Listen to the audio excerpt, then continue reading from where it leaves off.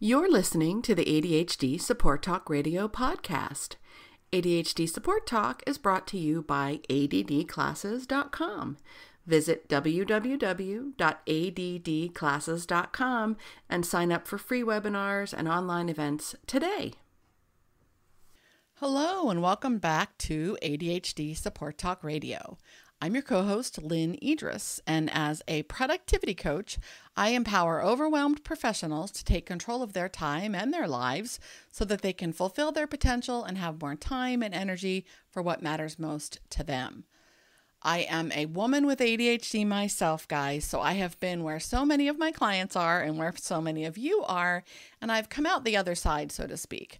So I've gone from living in the constant state of chaos and overwhelm and underperformance that we all know far too well as adults with ADHD to live a life of more success and fulfillment than I really dreamed was possible at one time. And I know you can share the same success yourselves. You can learn more about me and what I do and the programs and services I offer at www.coachingadvantages.com.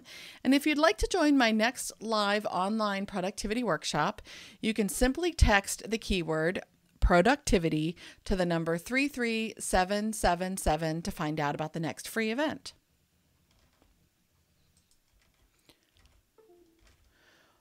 Well, today, I want to talk about something that really is at the core of coaching and success for adults with ADHD, and that's your beliefs, your mindset, and fulfilling your potential.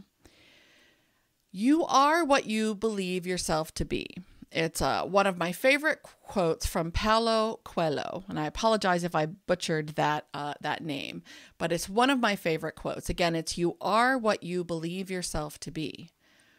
What you believe determines your perception of reality and your perception of yourself. And psychologists agree that our beliefs and our perception start forming in very early childhood. And some experts say that some of those beliefs may even start to be formed before birth, but that's another conversation for another time. Our beliefs are an outcropping of our experiences in our lives. Um, the uh, of our own inferences, the conclusions that we make, and that what we infer, and the deductions we make about the world around us and ourselves, as well as what others tell us. So your beliefs become like a tinted lens through which you see the world and through which you see yourself. And this is, I'm saying you, but I mean all of us, like the collective you, the collective we. So if your beliefs are the lens through which you see the world and see yourself, our beliefs become our reality. Okay? Our beliefs become how we perceive reality, how we perceive the world around us, how we perceive ourselves, and how we perceive how we fit into the world around us. Okay? But here's the thing our beliefs are not fixed and they're not permanent, right? we have the power to choose our beliefs.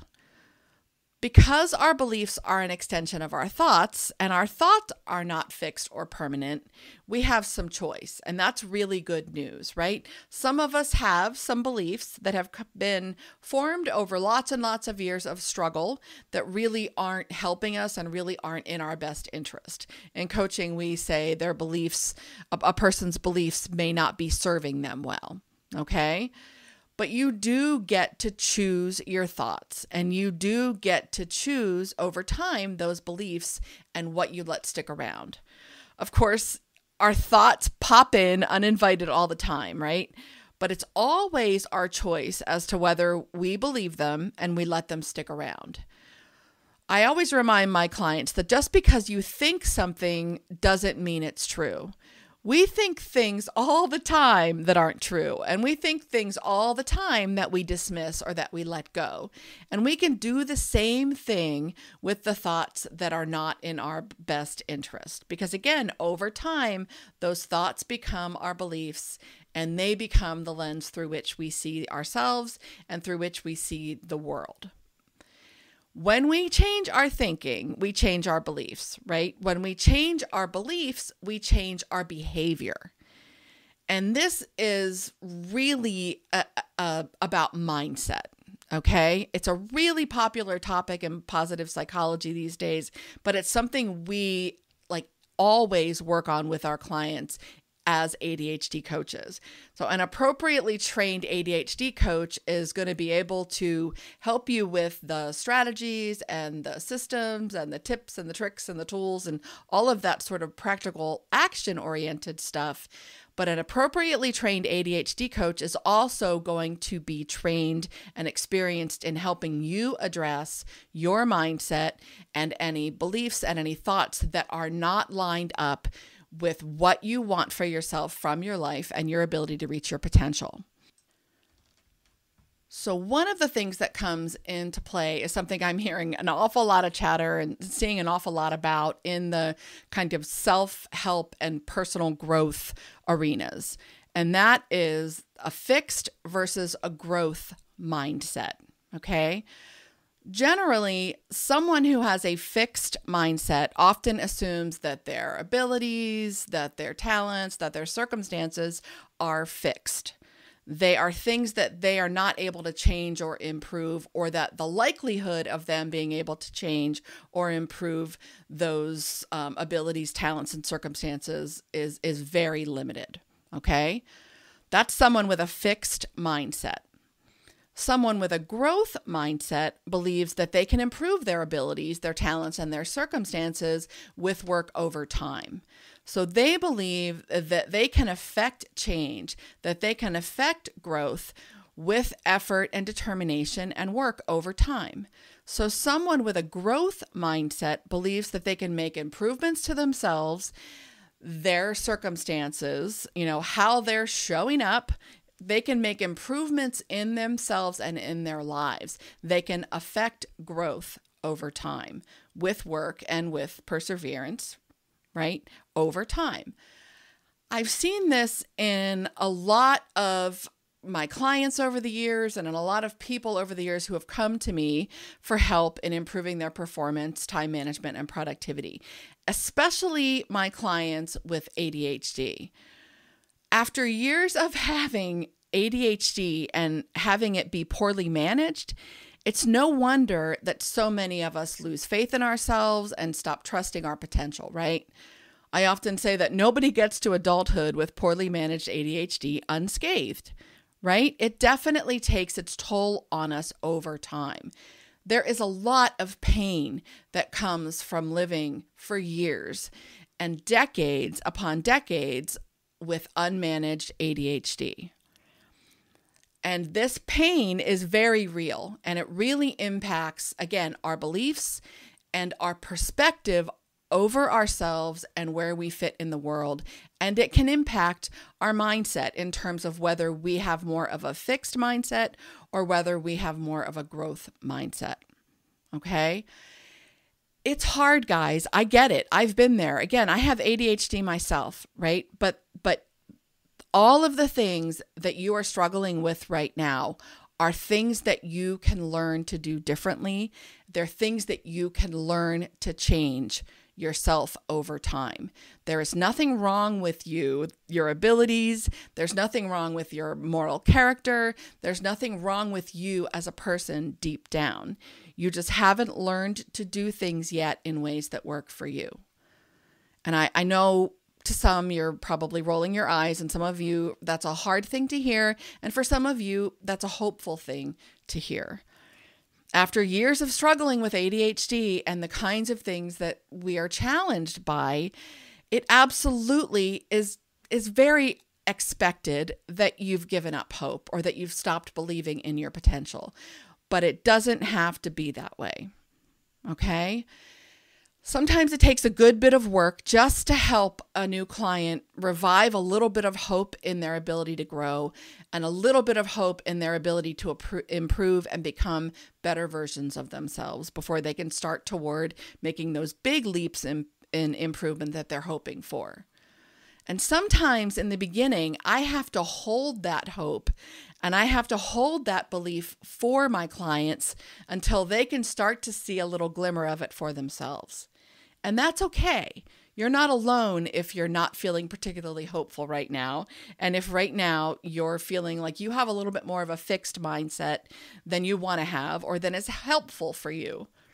But when I can help my clients start to go beyond strategies and systems and tools to addressing what's going on between their ears that's getting in their way, then the strategies and the systems and the tools almost universally become more helpful and more effective for them and last longer. And sometimes clients who have tried the same strategy many times before can revisit it later with a better handle on their thinking and a better kind of handle on their beliefs, with a better perspective, with a growth mindset. And suddenly they may find that that same strategy becomes dramatically more effective for them than ever before. So, I want you to think about your beliefs. I want you to think about what it is that you're thinking about yourself that needs to change.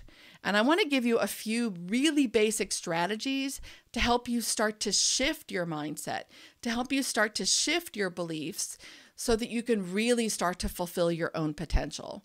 I really do believe that every single one of us was put on this earth for a reason and with purpose, with strengths and gifts that the rest of the world needs. And they don't need to be like, you know, curing cancer or some impact that the rest of the world is going to talk about, you know, into eternity every single one of us has the opportunity and the ability to make our piece of the world better for ourselves and for the people around us. And that's what I'm talking about. I'm talking about you using your gifts and your talents and you fulfilling your potential. So I want to give you just a few basic, really practical strategies that you can use today to start to help you shift your mindset change those beliefs and change that perspective so that you can start to move toward fulfilling your own potential. So, first, I want you to be intentional and make a conscious effort to give yourself credit for both improvement and effort, right? For trying, okay? So, I want you to really give yourself let me say that again. I want you to really be intentional and really be conscious about giving yourself points for effort and credit for any improvement. So, one of the things I encourage my clients to do from a practical basis is to practice what I call inward gratitude. Okay. We all know that having intentional gratitude practices can improve our mood and our quality of life and has all kinds of positive impacts on us, right? So we know the benefits of gratitude. And that's wonderful. And that's something I really encourage everyone to, to try to find a way to do that works for them, right? But I want you to intentionally turn some of that gratitude inward. Okay, that's why I call it inward gratitude.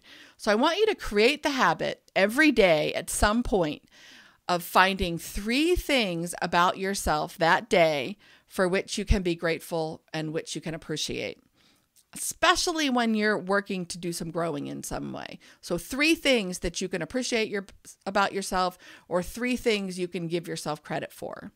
Okay? And it again, it doesn't need to be earth-shattering, it doesn't need to be like you know, life changing stuff. It's the small stuff and that consistent inward gratitude, that consistent, persistent, intentional shifting of perspective over time that's life changing. So every day, finding three things about yourself for which you can be grateful. That you can appreciate or for which you can give yourself credit. And sometimes just remembering to do the three inward gratitude things is something to give yourself credit for. Sometimes just making it through the end of the day and you know still being here is something to give yourself credit for. But it's got to be conscious, it's got to be intentional and it's got to be consistent, okay? That's number 1. Intentional and consistent inward gratitude. Number 2 is try to catch yourself and replace the word fail, F A I L, fail with the word learn. It's subtle, but you can begin a huge shift with this. If you can start to think of everything that doesn't go perfectly, everything that doesn't go as planned or as you hoped, as being an opportunity to learn rather than a failure, you are well on your way to shifting your beliefs and your mindset from a fixed mindset to a growth mindset. So, number two is replace the word fail with the word learn. Okay, so you never fail if you learn. That's one of the things I, I truly believe and live by. Sounds trite, sounds a little coachy, but trust me on this one, guys. Number three is what I call embrace yet. Okay, so when you catch yourself in a self critical thought or in a, a, negative thinking pattern, something that's critics criticizing you or thinking negatively about yourself, I want you to add the word yet to the thought to improve your growth mindset. So, for example, I can't do this becomes I can't do this yet. So, emphasizing the possibility of growth and future success. So I'm not good at this becomes I'm not good at this yet. Okay? And if the word yet literally doesn't fit the sentence, then add what I call a positive qualifier onto it. So let me see. I procrastinate all the time becomes something like I procrastinate a lot, but I'm working on it. Or sometimes I procrastinate, but I'm trying, right?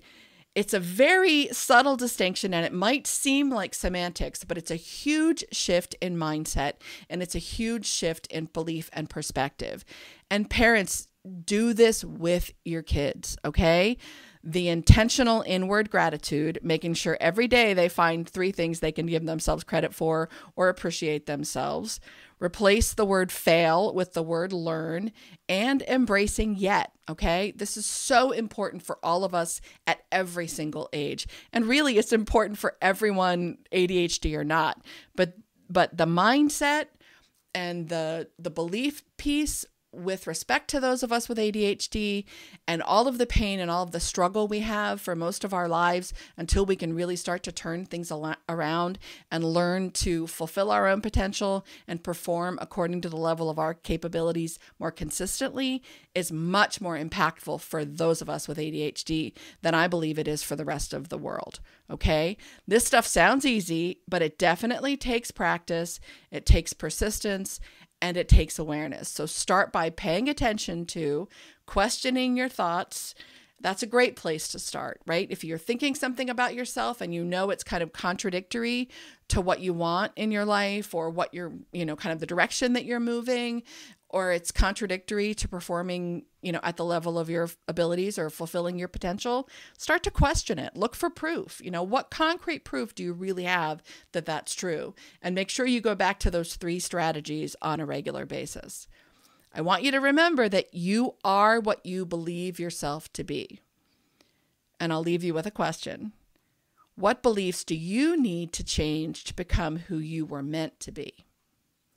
I hope I've given you some things to think about. I know this is a little more, you know, kind of maybe woo woo for a little uh, for some of you than you normally expect from me, but this is a really important part of learning how to live well with ADHD and really to reach the potential that I know you have. So, as always, I appreciate your attention. Join us in the ADHD Support Talk Facebook group to discuss this, share your thoughts and ideas, ask questions, and connect with Tara and I. And if you've found the podcast helpful or enjoy it, we would really appreciate it if you left us a five star review on iTunes. The more five star reviews we get on iTunes, the more people can find us easily and get the help and the support they need with their adult ADHD. So thanks again, guys. I'm your co host, Lynne Edris, and I'll catch you again soon on ADHD Support Talk. Until then, take care.